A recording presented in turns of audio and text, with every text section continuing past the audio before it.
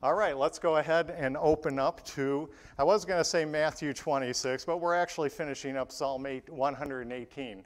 So why don't you go ahead and open up to Psalm 118, uh, and we're going to finish that up this week uh, and then move on in our Matthew 26. We've kind of gone to Matthew, or to Psalm 118 because remember, in Matthew 26 30, he's talking about they've had the Passover meal, they've had the Last Supper, and now they're singing that final song, that final psalm the Hallel, Hallel Psalms, uh, Psalm 113 to 118, are sung throughout that whole Passover event that they experience. Uh, they've already sung Psalm 113 and 114, 115, 116, 117. They're at the end of the night and they're singing as they leave Psalm 118. These are really the last words Jesus has together with his disciples. These are the final things. They're looking at each other. They're singing this to each other. Uh, they're thinking about this is his. These are what make up his final thoughts, and the final thoughts of the eleven. Remember, Judas has left already, but the eleven and Jesus, as he goes now in the final hours uh, to his death. He's going to go next to the Garden of Gethsemane. He's going to go then. He's going to be betrayed, taken uh, by his enemies uh, and those illegal, illicit trials. Uh, and within just a matter of maybe 10, 12 hours, he's going to be on that cross. And these are the final words they're saying together. So I thought that's why it'd be important to look at this psalm. Last week we looked at this psalm, and remember, Psalms, I'm not going to go through everything we did last week, uh, but we, it is important to realize that these psalms need to be read consistently with the tool of right division.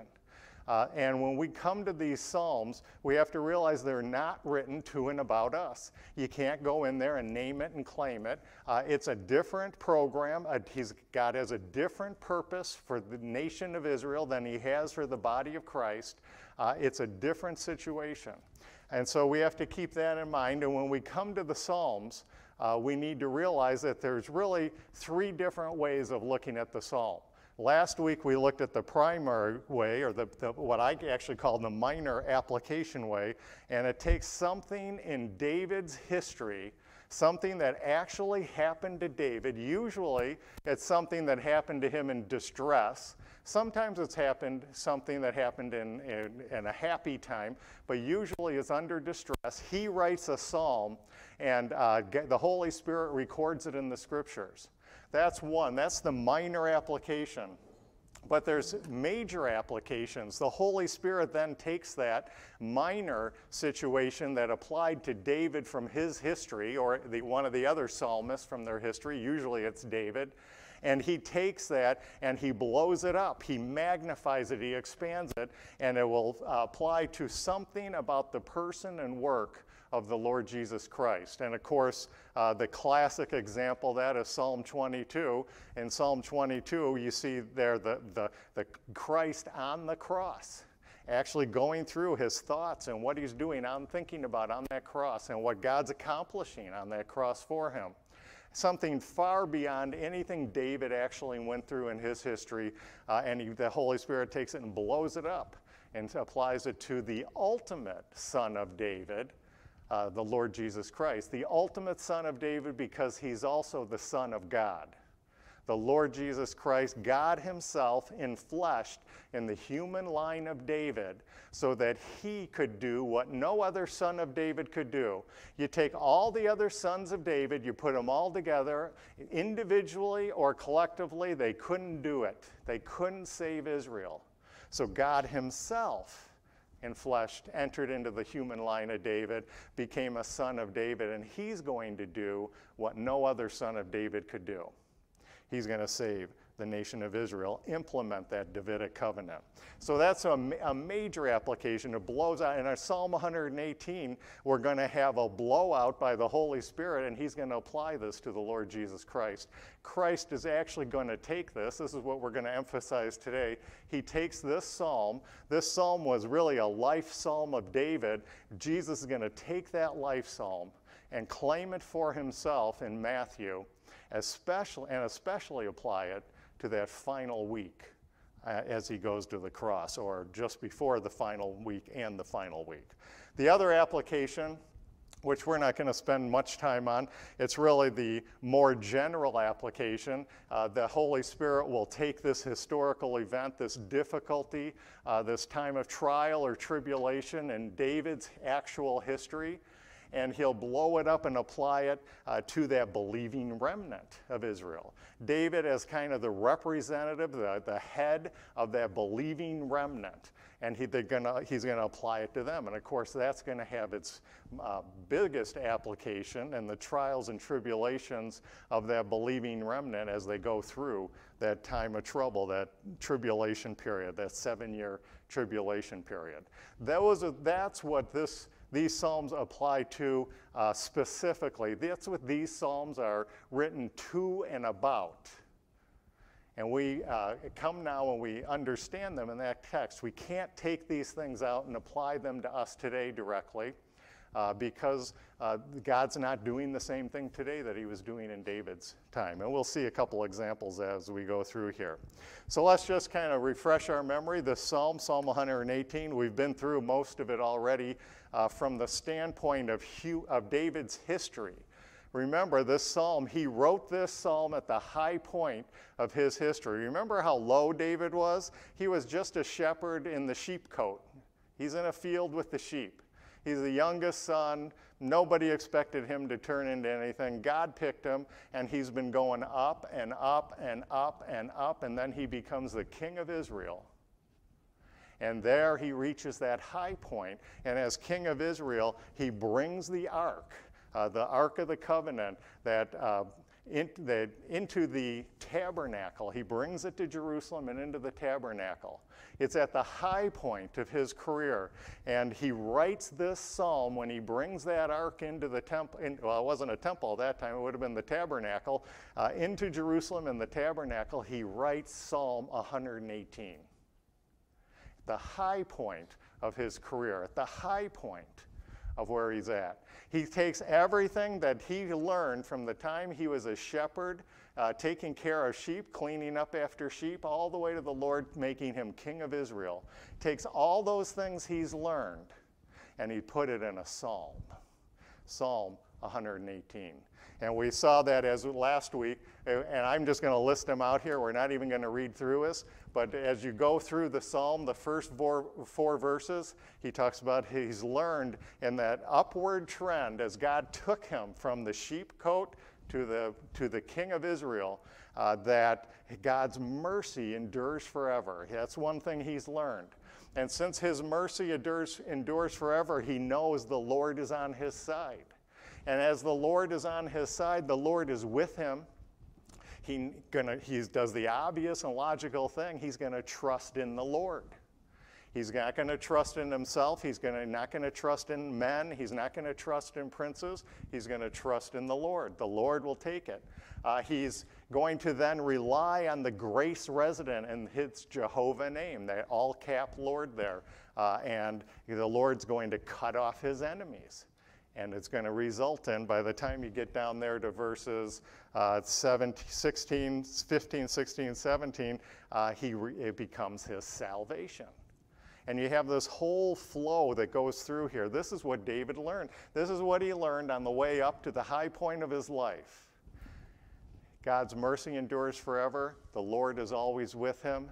Uh, he needs to trust in the Lord and rely on the grace resident in his Jehovah nation, uh, in his Jehovah name, and that will result in his salvation.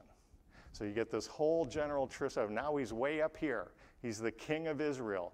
He brings back the ark. They, they were with the Philistines, and then it was outside Jerusalem. He captures Jerusalem. He's king of Jerusalem. He builds the ta- he puts the tabernacle there, brings in the ark of the covenant, He's at the high point and he writes this psalm. And now, what God's going to do for the rest of this psalm, as we pick it up at the last half of the psalm here, he's going to use this psalm as we watch David go downhill. David's going to go down. He does everything he learned on the way up, now as he goes down, as he makes all these mistakes and all these things come about that lead to his downfall, he's going to, God's going to keep reminding him of verses in this psalm. This psalm becomes the basis for the Davidic covenant. God's going to take, notice in each of these ones, we're not going to go back to 2 Samuel 7. Each one of these uh, things brought out in the, in, the, uh, in the psalm, God takes each one of those. Mercy is going to be the basis of the Davidic covenant in 2 Samuel 7. Uh, the Lord is on my side. God says in that Davidic covenant, I was with you wheresoever you went the Lord, I will trust in the Lord. That's what he says in that uh, Davidic covenant. Every single thing, God bases that Davidic covenant on a psalm David wrote several years before. He's answering David's psalm, and he makes him these promises on David's heartfelt desires. And he promises to David, he himself will enter into the line of David and do everything for him. Just rely on the Lord, trust in the Lord, rely on the grace resident in his Jehovah name, uh, and it'll result in salvation. That's what he's found up to this point. All right, so now let's pick it up from there and let's just look at these last couple things that we left off with. We're going to watch now, he's going to make use of Psalm 118 as David falls. So far, the first half of the psalm, we watch David go up, everything he's learned on the way up. Now we're going to watch what happens to David on the way down. And let's pick it up there. We will begin reading here at verse 17. Uh, and we looked at this last week, so we're not going to do the, uh, the cross reference verses, but they are here if you weren't here last week or want to follow up on your own. But verse 17, he says, I shall not die but live and declare the works of the Lord. That is a, the Lord took that verse uh, and made Nathan tell that verse to David at the, when he confronted him about his sin with Bathsheba and Uriah. Remember, the, that, was the, that was the turning point. David's at the high point, and then you get this sin with Bathsheba, coveted Bathsheba. Uh, he committed adultery then arranged the murder of her husband, bore false witness. The coveting, Paul says, is just another word for idolatry. He's broke his relationship with God, he's broke his relationship with his fellow humans. He's no better off than those children of Israel at the golden calf incident. All God could do was put him to death. David even says, All you can do with me is put me to death. Nathan gives him that parable, and he says, That man should die. And God says, remind David about a verse he put in Psalm 118 Thou shalt not die, I will live. And he brings up, he takes something out of that psalm and he applies it to David as he goes downhill here. And he didn't die, remember. But what did happen instead? He didn't die, verse 17. Verse 18, but the Lord hath chastened me sore, but he hath not given me over to death. But he did chasten him. And when was David chastened? When is the one time David says he's being chas- ch- chastened? Uh, if we looked over at 2 Samuel 15, 25, and 26, it's when David, uh, that whole Absalom uh, rebellion, where the nation of Israel rejected David as king. Remember, David gets uh, removed as king and he goes into exile. He leaves Jerusalem on a donkey and on his way across the Jordan, he leaves, he's exiting, and he tells the priest, Take the ark back to Jerusalem because the Lord's chastening me. I don't know if I'm going to be back or not. If it's the good pleasure of the Lord, I'll be back. If it's not the good pleasure of the Lord, I won't be back. This is the Lord's doing. And he goes into exile. Absalom becomes king. It's only for a couple days, but he becomes king. He wins the heart of the people, and the nation of Israel rejects David and sends him away, and he goes into exile. So now you have the rejected king. So he's being chastened, and he's going to be chastened severely. And Paul, or excuse me, uh, God reminds him of a verse from Psalm 118. He was chastened. That's what he's doing here. He's leaving, he's the rejected king. All right, then we have David's triumphal entry, though. David's going to come back. Absalom's only. Remember what happened to Absalom? He gets his hair gets caught in the uh, in the tree, and and Joab, uh, David's man, comes and puts him to death, and then David comes back. The rejected king comes back. He's going to return. And the route he takes, we saw last time. Again, we're not going to go look at all these verses, but the route he takes this time, and I actually have a map here. It's not a great map for doing this on, but uh, if we want to kind of think of this, because this is important, because really what we want to get to today is how this applies to the Lord Jesus Christ. So now you have the rejected king, and he's going to return to Jerusalem, and he's going to see if the people receive him now at this time? Is he still rejected or are they going to receive him? So if we go through the account, and all the verses are in the previous slide, but he's on the other side of Jordan. He's, going to, uh, he's on the other side of Jordan here. He's going to uh, cross Jordan and he's going to go to Gilgal. Remember what Gilgal? It's the eastern border of Jericho. He goes to Jericho. And hopefully this sounds familiar uh, to a route we heard we just read about in Matthew. Uh, Jesus also goes the other side of Jordan, goes to Jericho, goes to Mount of Olives, goes to Jerusalem, goes to the temple. Well, guess what path he's taking? He's taking David's path because David starts his path on the other side of the Jordan. He's greeted there by the people of Israel and the political leaders. They ask him to return as king. They go with him over Jordan, through Jericho, up the Mount of Olives, down the Mount of Olives, and what do they see? Verse 18, verse 19. We have the return of the king. Verse 19 Open to me the gates of righteousness. I will go into them and I will praise the Lord. Now they're coming to Jerusalem and they're entering. Here's Jerusalem. Of course, this is the Jerusalem uh, in Jesus' day.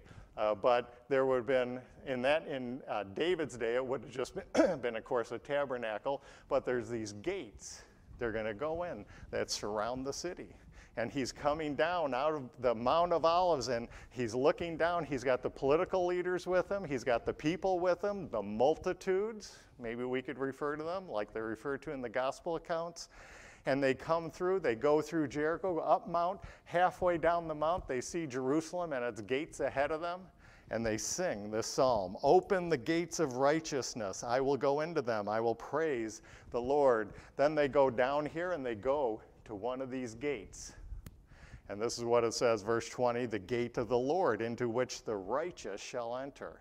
Now we get, they come, David and his, the political leaders, the people of Israel, they enter into Jerusalem, they go uh, into the gate, and they go into, he calls it here, the gate of the Lord.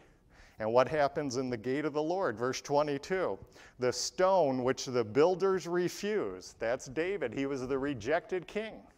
He went into exile. Now he's coming back. The stone which the builders refused has become the headstone uh, the headstone of the corner. The people of Jerusalem now receive him. The people, the king they rejected, they now receive. David has been received by the people of Israel. He's been received by the political leaders. He's been walked into the Jerusalem, went into the gates of Jerusalem. He was received by the people of Israel. The one they rejected, uh, excuse me, the people of Jerusalem, the one they rejected, they're now receiving.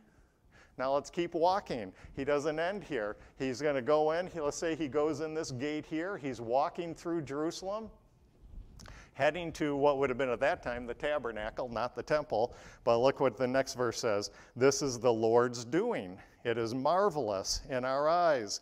Uh, and notice now the pronouns change. It was a singular I, everything was I singular. Now it's plural. This, verse 23, this is the Lord's doing. It is marvelous in our eyes. So now you have the multitudes. You have the, the um, uh, people of Israel that followed him in, the political leaders. You have the people of Jerusalem, and they're all singing this. This is marvelous in our eyes. This is the work of the Lord. David's returned. We accept the king, we receive the king. 24, this is the day which the Lord hath made. They're singing this. We will rejoice and be glad. They're rejoicing. They're glad the king has returned. The one they rejected has now come back and will be their king and they receive him. And here they sing, Save now, I beseech thee, O Lord. O Lord, I beseech thee, send now prosperity. And they appeal to the Lord. Of course, this is the Lord in heaven uh, to now provide, save them, and provide prosperity. That's establish the kingdom. That's when prosperity is brought in for Israel. It's in that kingdom. And he's going to they call on the Lord. They address the Lord. Save us. Establish the kingdom. We receive the king. Establish his kingdom. Then they go further. So now we come. We've been over the Jordan. We've gone through Jericho. We've gone up the mount, down the mount, saw the gates of Jerusalem, entered the gate of Jerusalem, heading to the temple.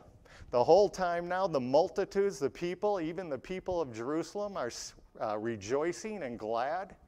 Now there's one more stop we have to make. He's going to keep walking. He walks through Jerusalem and he's going to enter the tabernacle. And this is what we read in verse 26 Blessed be he that cometh in the name of the Lord. We have blessed you out of where? Out of the house of the Lord.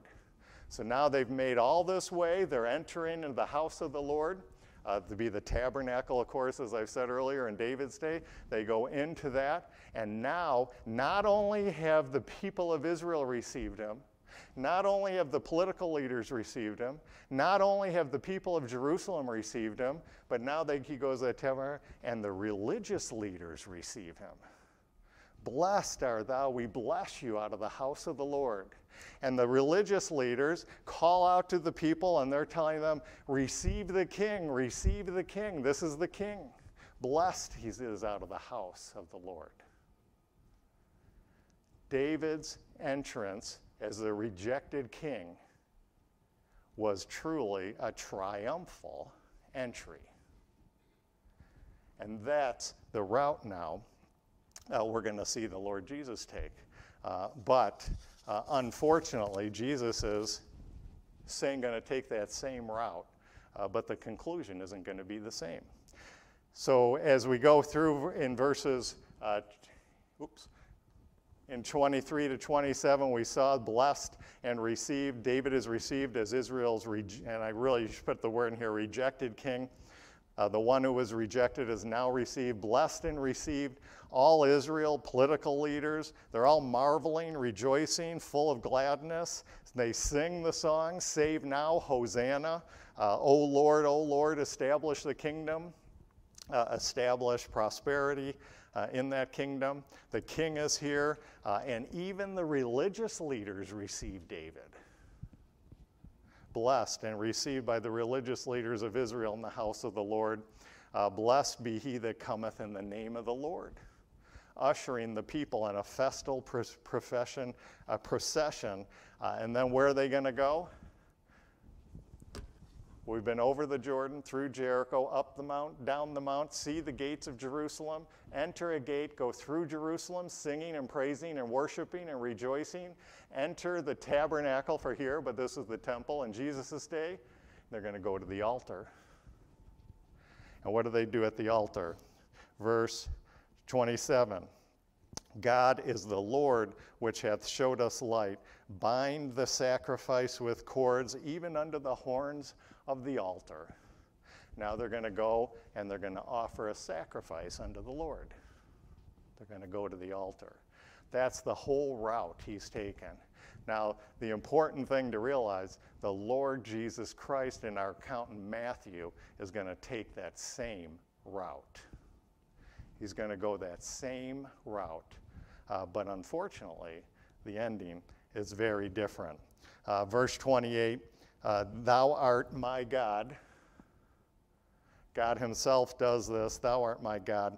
God the Father will do this through the Lord, God the Son, who comes in the name of the Lord, God the Father, bringing salvation to Israel, ensuring that His mercy endureth forever. And that's what takes us to the end of the psalm. Uh, remember that idea, the Jehovah name, capital in our English, it's ca- all caps, capital L, capital O, capital R, capital D. That's that God's Jehovah name. Uh, and it primarily in the Old Testament refers to God the Son, Jehovah, God the Son, but it can also be applied to Jehovah, God the Spirit, and Jehovah, God the Father. Just way in our New Testaments, when you read the word God, what is it usually, who, does it, who is it usually referring to? It's usually referring to God the Father without other qualifications. That's usually what it's referring to. Uh, but it can also refer to God the Son and God the Holy Spirit. So that Jehovah name kind of works in that same way. All right, so now let's look at the major application. That was what I call the minor application. I'm sure it wasn't minor to David in his life, uh, but minor, that sets the groundwork, that gives us the structure of what's going on here. And now we're going to look at the Holy Spirit blowing that up, and he's going to apply it to the Lord Jesus Christ himself. The Son of David, not a Son of David, not even a son of David or the son of David who comes in the name of the Lord, but it's the son of David who also is the son of God, the Lord himself. Entered into the line of David so that he could do what no other son of David could do provide salvation for the nation of Israel. So now we're going to look at this from the standpoint of the Lord Jesus Christ. Hopefully, we're not going to go back uh, beginning in Matthew 20 uh, and go through Jesus' whole route. We've done that already. We're in Matthew 26. Uh, but hopefully, you'll have already put together that the route we looked at for David is the same route the Lord Jesus Christ took in Matthew 20 and 21 as he's going down, going down into that area. Uh, and so now we're going to look at how this expands into the Lord Jesus Christ. And we're just going to look at it very generally. Uh, in those first four verses, uh, the Lord Jesus came to fulfill the Davidic covenant, God Himself and fleshed into the line of David, ensuring it will be fulfilled and endure forever. He is the source of the merciful good kindness God extends to Israel. That's that first four verses where he keeps saying, His mercy endureth forever. Well, the Lord Jesus Christ is the author, a, so He's the producer of that mercy. That's the only way it could endure forevermore. He's the one that's going to do it, the Lord Jesus Christ. Then we go on to uh, verses 5 and 9. Remember, the key thought there was uh, God is with us, the Lord is with me, uh, the Lord is for me. And there we have Jesus, the Son of David, who is also the Lord, the Son of God, who always relied on the Father. Remember in those verses? I'll look at verse uh, 8. It is better to trust in the Lord than to put confidence in men. Better to trust in the Lord than to put confidence in princes.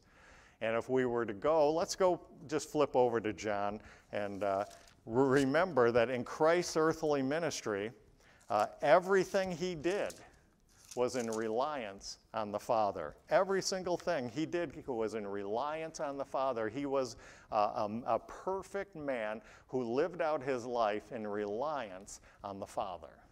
And we'll just look at one example of this. Look at uh, John 5 19. Then answered Jesus and said unto them, Verily, verily, I say unto you, the Son can do nothing of himself but what he seeth the Father do. For what things soever he doeth, these also doeth the Son likewise. Uh, the Son is in complete reliance on the Father. We've seen that in, all throughout the gospel accounts. Uh, that's just one example. Uh, and the Father was with him. The Father was continually with him. He's the, he's the epitome of this psalm. Uh, he's the where David could did everything imperfectly. The Lord Jesus does everything perfectly in perfect reliance on the Father. And the Father was with the Son. And we're going to see that as we go through uh, some more things here. So that takes it, uh, that's his application to other parts of the psalm. In verses 10 to 16, we had the destruction of his enemies. Uh, and remember, Jesus had his enemies. That's who ended up putting him on the cross. The Gentiles and Israel joined hands together uh, to attack and destroy him. Uh, and of course, we're going to see that most clearly now as we go through these trials. Uh, and tribulations that he's going to have, these illicit trials uh, that are going to lead to his, their putting him on that cross. Uh, but he's going to destroy his enemies as well. Uh, that's going to happen out at that second coming. He's going to destroy his enemies. Now he's providing redemption for Israel, but in that future, he's going to return as Israel's deliverer and avenger. He's going to save his friends, destroy his enemies. Verse 17. Verse 17, Jesus repeatedly said he would die, but raised again on the third day without seeing corruption. David says here, I'm not going to die. And you understand, when David says he's not going to die, he means his idea of death is he's going to stay dead, right? I mean, he's going to keep on being dead. Uh, and Jesus said he's going to die, but he's going to be raised again on the third day. So it's not the same type of death David was talking about. He's going to die, really die on that cross, uh, but he's going to be raised again after three days. And so you see a little bit how he magnifies that out, the Holy Spirit, and takes that and applies that to the Lord Jesus Christ. And then finally, and this will take us up to the point where the rejected king returns, uh, in verse 18, where we have, The Lord hath chastened me. Uh, while Jesus had no sins of his own to be chastened for, he did take the chastening of Israel's sins onto himself at the cross. All those curses of the law and the courses of punishment, or maybe a better word. I think my uh, reference Bible, when I call them the courses of punishment, uh, it might be even better to call them the courses of chastisement. Of course, we don't use the word chastise too much anymore. Maybe the best of all words would be discipline. Uh, because that gets a point across. There, it's not just a punishment to, for punishment's sake, it's discipline to turn someone around so they start doing the right thing. And that's what these courses of punishment. And they had all, he gets, they just entered these in their rebelliousness and their sinfulness, and the curses of the law came upon them. And they entered those courses of punishment. They got that 10,000 talents of debt, national debt, no one could pay, no nation could pay, no empire could pay. God's going to take all that and put it on the Lord Jesus Christ on that cross. Jesus is going to, while he had nothing to be chastened for himself, he's going to take onto himself the chastening of the nation. And we will look up that. Let's look at the cross reference with that. Flip over to Isaiah. Flip over to Isaiah 53, very famous passage. Isaiah 53, and you'll see this. Isaiah 53 uh, we're heading to verse 5, but let's begin at verse 4. Isaiah 53, verse 4. Surely he hath borne our griefs and carried our sorrows. We already had uh, that referred to earlier in Matthew. Yet we did esteem him stricken. Uh, important to they're the stricken and the smitten of God and afflicted. You know, the very next verse we come to in Matthew, right now we're in Matthew 26 30, and that's about this hymn, the Psalm 118 we're looking at now. The very next verse, verse 31, it says, The Lord Jesus is going to be smitten by the Father. I, the uh, Jehovah God, will smite the shepherd. Smitten of God. Verse 5, this is what we really need for our passage here. But he was wounded for our transgressions, he was bruised for our iniquities. The chastisement of our peace was upon him, and with his stripes we are healed.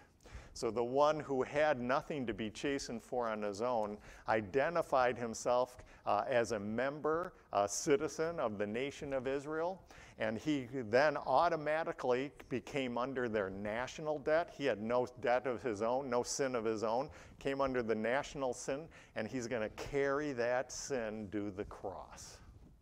And he's going to be chastised. He's going to take their chastisement onto himself and he's going to completely pay the debt. He's going to completely deal with it in a perfect and permanent manner, take their chastisement.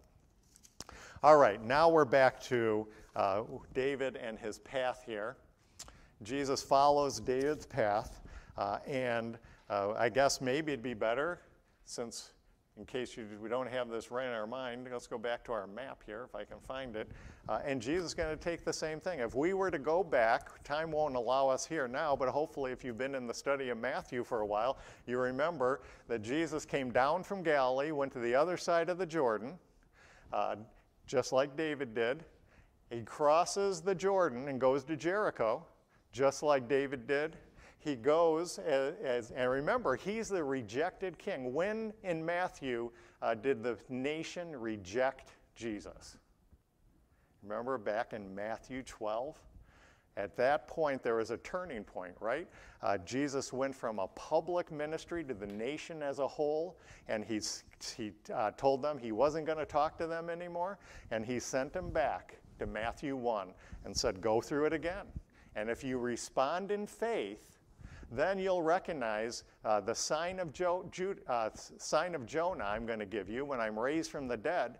And if you recognize the sign of Jonah, then you'll participate uh, in the city of refuge I set up in Jerusalem through the ministry of Peter and the 12 and the Holy Spirit. And if you participate in that ministry, uh, you'll receive me he turns away in Matthew 12, away from the, the rest of the nation, and he now turns to his own people that believing remnant, Peter and the 12 and, their, and the disciples. And remember, he starts talking to them in parables. So the rest of the nation can't understand. And he tells them these, he goes and gives them a, further truth into what's going to happen. He was the rejected king back in Matthew 12. He, he had a, a large Judean ministry, Jerusalem ministry, that's in the book of John. He goes up to Galilee, he comes back in Galilee, crosses the Jordan like David, goes to Jericho like David, goes into the Mount of Olives like David, goes to, looks down at the city of Jerusalem like David, enters the gates of Jerusalem like David, enters into Jerusalem and the temple. But the response, remember, was very different. And that's what we're going to take a look at now. So David is going to, or uh, the Lord Jesus is going to pick up with David's route here, and uh, he's going to go and he's going to follow that same route in. And unlike David, though, he's going to, uh, the stone that the builders rejected, that was back in Matthew 12, he's returning now as the rejected king. This was a this, this psalm provides a valid option for the nation of Israel the nation of Israel could have responded the way the nation of Israel did with David back a thousand years before when they received the rejected king. Jesus comes now a second time to Jerusalem and offers himself again as the rejected king. He even takes the same route as David. He comes on a donkey like David. And he comes singing the same psalm like David he's singing this psalm here. The stone, verse 22, which the builders rejected, that was in Matthew 12 for the Lord Jesus Christ, uh, is become the headstone of the corner, but it didn't. The, he comes in, he returns to Jerusalem, and the head, uh, the stone that the builders rejected, the leaders of Israel rejected, what they kept on rejecting. They rejected his ministry and now is going to have to wait till the resur- after the resurrection, God Himself would make Jesus the chief cornerstone. And at His second coming, He'll establish that kingdom. He comes in, and the nation could have received Him the way it received the rejected King David. And instead, they persisted in rejecting Him. You have the same psalm. This is an option that Israel could have taken advantage of. This is something, the way, this is a way this could have turned out for Israel in their day. And they reject, continued to reject them. And now let's go step by step through this, and uh, we'll see this. Verse 22, let's pick it up now, uh, where D- uh, David left off, uh, where David's route turned into reception and uh, receiving of the king. The Lord Jesus, every step of the way, is going to continue in rejection uh, and uh, refusal to accept the king. So the stone which the builders refused has become the head of the stone of the corner. It's not going to when Jesus, the rejected king, comes. They're going to continue to reject uh, the chief, the, the, the stone that would be the chief cornerstone. They're going to refuse, uh, unlike David, they're going to continue to reject by the people and Israel's leader. Uh, but after God raises him from the dead, uh, God will make him the cornerstone of that kingdom at his second coming. Verse 23 This is the Lord's doing. It is marvelous in our eyes. This is the, the day which the Lord hath made. We will rejoice and be glad in it. Here we have, uh, remember that in Matthew? Uh, we read there in Matthew 23 the multitudes come with him in and they're singing this song, but it just turns out to be a superficial praise, right? There is no rejoicing. There is no uh, re, uh, rejoicing at this at all. He's going to continue to be rejected. And what's he going to do over Jerusalem? What was all Jerusalem doing uh, in when David returned?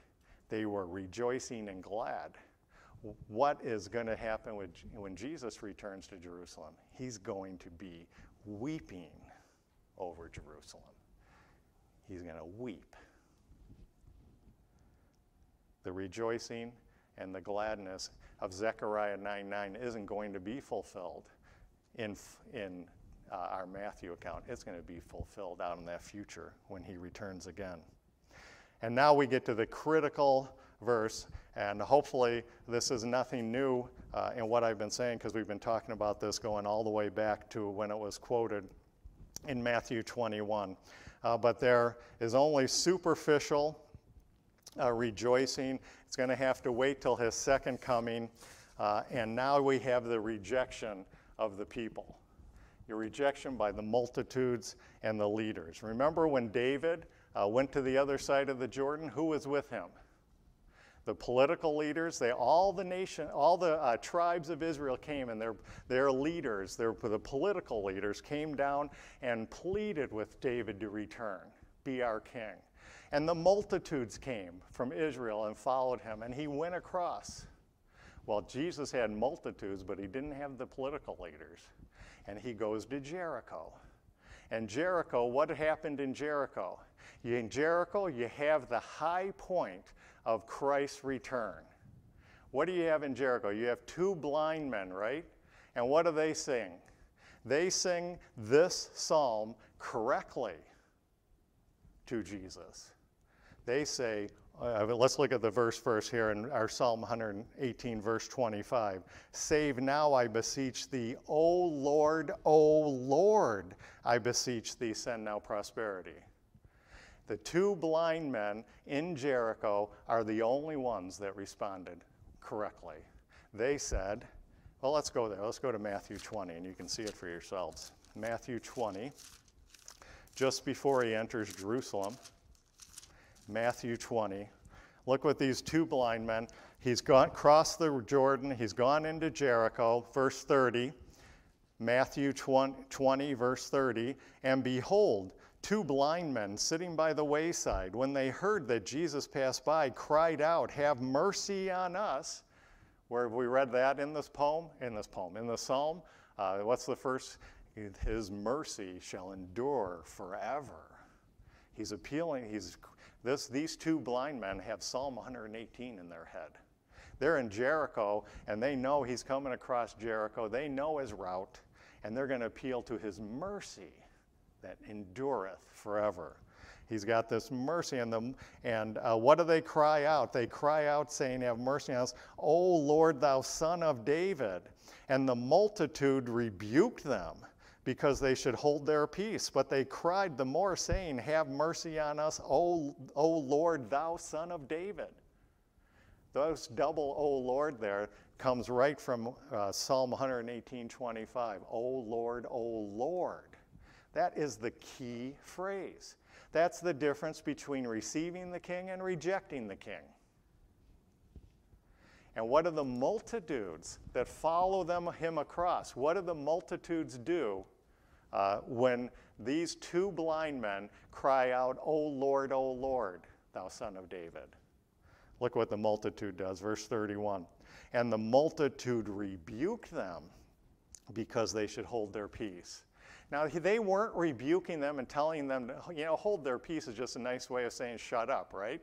Uh, they're not just saying that because, you know, Jesus is preoccupied in a meditative state and he should, they shouldn't be intruding in his thoughts and let him, don't slow him down. Or, they, that's not why they're, in, they're rebuking him. They're rebuking the two blind men because the blind men addressed Jesus as, Oh Lord, oh Lord.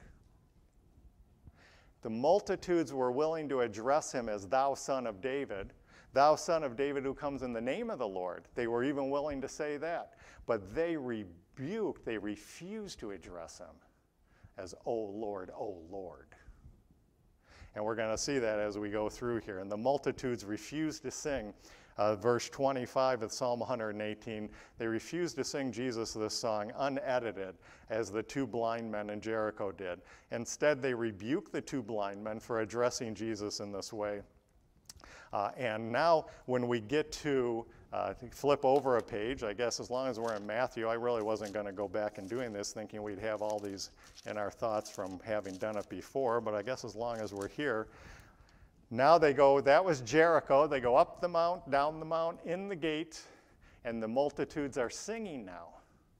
They're supposed to be singing Psalm 118, and they chose verse 25. But look what they actually sing. Uh, verse 8, Matthew 21, verse 8. And a very great multitude spread their garments of the way. Others cut down branches uh, from the trees and strawed them in the way. And the multitudes, multitudes that went before them and followed cried out, Hosanna. Now, hopefully, if you got your finger in Psalm 118, flip back. Don't lose this spot. Flip back to 118, verse 25. You see where the beginning words are saved now? That's the word Hosanna. So they start out verse 25 with the word that's in verse 25, Hosanna, or which means save now, is the way at least the King James here has it translated. Save now, Hosanna. They begin the verse right. Hosanna, but now look what happens. To the Son of David, blessed is he that come in the name of the Lord, Hosanna in the highest. They start the verse right, but what do they take out? Go back, flip back, keep your thumb or some uh, finger or something in Matthew, but go back to verse 25. Save now, I beseech thee, O Lord, O Lord. That's what the psalm says. They're supposed to be singing the psalm. And they start out with the first word, Hosanna, or save now, but then they kick out, O Lord, O Lord, and they put in, Thou Son of David. That's not the same. There were a lot of sons of David. There were a lot of sons of David who came in the name of the Lord. As a matter of fact, David, uh, who was obviously not a son of David, but David himself, look up a little bit further how he did everything. Verse 12, we'll pick it up at verse 12 in Psalm 118. They compass me about like bees and are quenched as the fire of thorns, for in the name of the Lord David came in the name of the Lord. There were many sons of David who came in the name of the Lord. Uh, to say that Jesus is thou son of David, who, one who comes in the name of the Lord, isn't enough. They kick out, they take a pair of scissors, and they refuse to sing the psalm the way it's written. They remove, O Lord, O Lord, and put in, Thou Son of David, who uh, comes in the name of the Lord. Now that's uh, mild praise, but it's not the praise. What happens in this journey from across the Jordan into Jerusalem is you're going to have his uh, reception knocked down, knocked down, knocked down till he's totally rejected.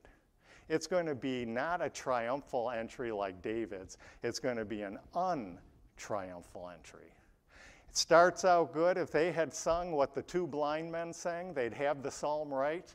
Uh, and they would be singing it right. They kick out, O Lord, O Lord, replace it with, O thou son of David who comes in the name of the Lord, which is praise, but not saving praise.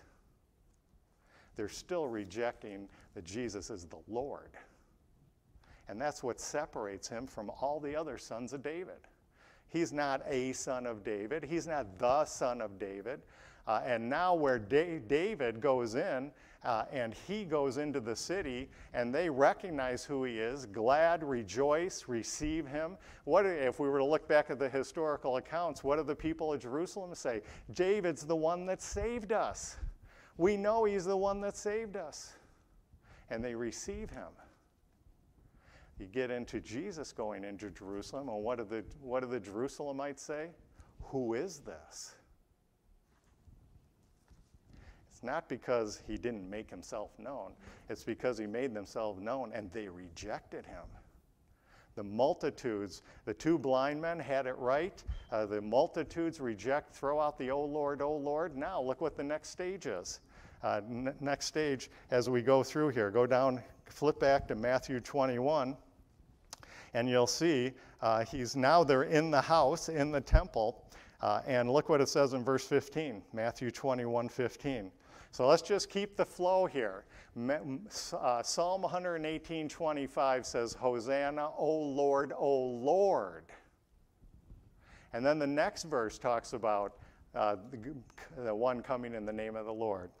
And look what uh, they're even going to, rule, and the multitudes throw out, O Lord, O Lord, put in thou son of David who comes in the name of the Lord. Now they go to the temple and look what the religious leaders do.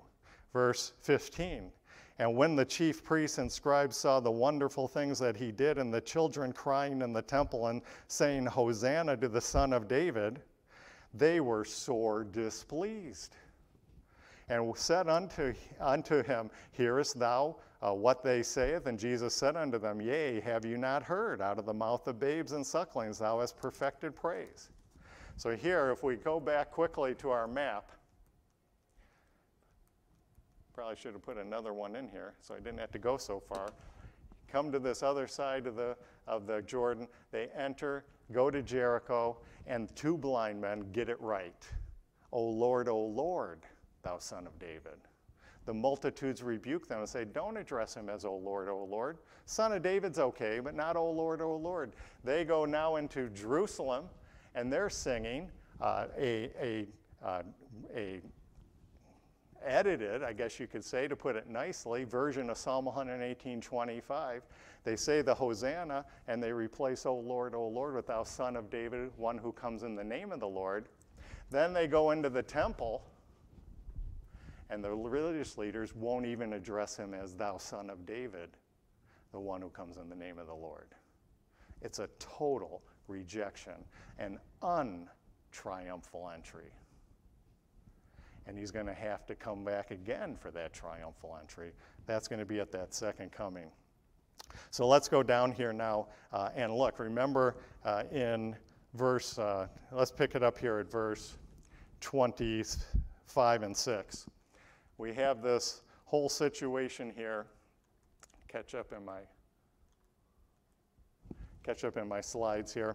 Uh, there we go. Uh, and he's, we've shown that the multitudes now have rejected him as, O Lord, O Lord. They've rejected the person in the psalm, the rejected king coming back. And now, verse 26. Here we go. David goes into the temple, or of course, at that time it was the tabernacle. Verse 26. Uh, he goes in the people, they receive him, they sing it, they appeal to the Lord. He goes in the temple, and they flow, throw open the tabernacle. They throw open the curtains of the tabernacle. The religious leaders come out and they say, verse 26, Blessed be he that cometh in the name of the Lord. We have blessed you out of the house of the Lord. Throw open the curtains of the tabernacle, and the priests, the religious leaders say, Come in, we bless you out of the house of the Lord. The religious leaders received David a thousand years before. The, what do the religious leaders do when Jesus goes to the temple? They say, Don't you hear the children? They're, they're describing you as the, the son of David who comes in the name of the Lord. We don't want you even addressed as that. They reject him. They reject, O Lord, O Lord. They reject even that he's the son of David who comes in the name of the Lord. It's a total rejection. And now, when we get to the end here, I did put this in chart form if anyone wants to go step by step through this. We won't do it now, but it shows you all the substitutions that were made. The end uh, thing in David's experience, his return, his triumphal entry into Jerusalem, was that they were shouting, David is our, is, has come to save us. Salvation is in David. And they were rejoicing. Uh, and what happens to in Jesus' return to Jerusalem? What's the best, what does the Jerusalemites say? They say, Who is this? And what's the best response his multitudes from Galilee can say? A, a, prophet from Nazareth, maybe even the prophet, the prophet of Moses from Nazareth. But, and those aren't wrong. The point is, they're not right. Because if you throw out the old Lord, old Lord, the son of David doesn't really matter, and the prophet of, of Nazareth doesn't really matter, even if it's the prophet of Moses. Doesn't matter. Without the, the only thing that separates him from everybody else to be able to accomplish Israel's national salvation is that he has to be the Lord. And to throw that away, it all just, once you throw that away, it just crumbles. An untriumphal entry, and we end with Jesus weeping over Jerusalem. Zechariah 9 9 will have to wait and go from there. So Jesus is the only one qualified. Uh, brings that out now as we close out the psalm. He's the only one. Uh, verse 27 God is the Lord.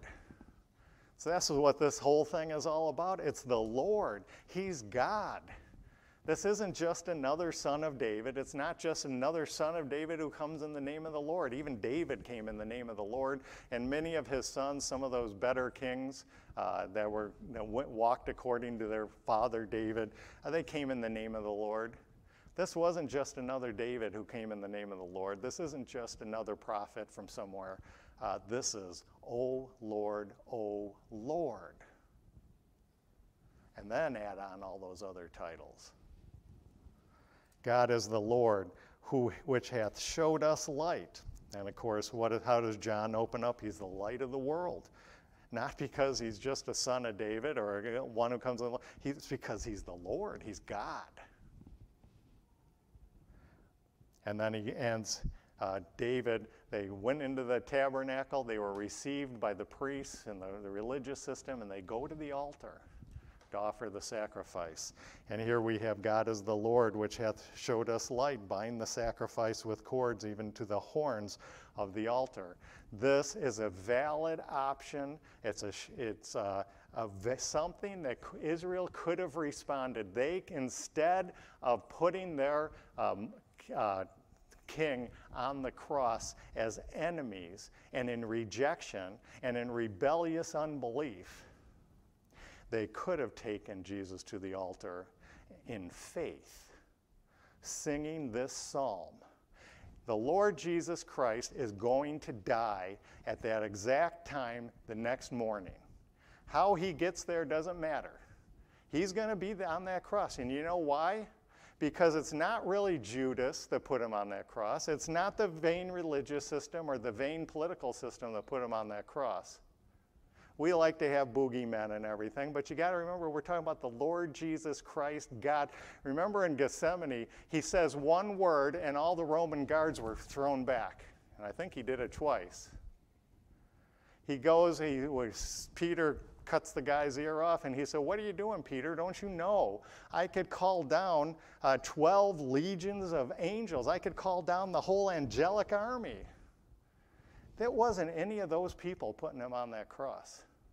Our very next verse, and we'll end with this, our very next verse in uh, Matthew 26, verse 31, is that I will smite the shepherd. The I there is God, the Father, the Lord God the Father. That's a quote from Zechariah. It's God that puts his son on that cross. The son is going to that cross of his own free will. He's going to that cross. But he's going to be rise again on the third day. So it's not a death like we think of death. It's not a death like uh, David thought of death. This is a death that in three days he's going to be raised from the dead. He has to go to the cross, though. He has to go deal with the nation's sins. He has to go there. Otherwise, this nation won't be saved. And they could have taken the Lord Jesus Christ singing Psalm 118 to uh, that altar like Abraham did with Isaac. They refused to do it that way. So God now has to do it. He has to be taken there on his own and through the hands of the enemies. And that's going to be very important as we finish out Matthew 26. This is the, uh, he uses the terminology together with more than any other part of the book. He wants to be with the 11. He wants to do everything with them. He wants them to go with him and be with him and sing with him and eat with him. They want, he wants them to watch with him in the garden and pray with him. And, they, and instead, what do they do? They flee, they scatter, they desert him. And that's where we'll begin next time. Let's close with a word of prayer.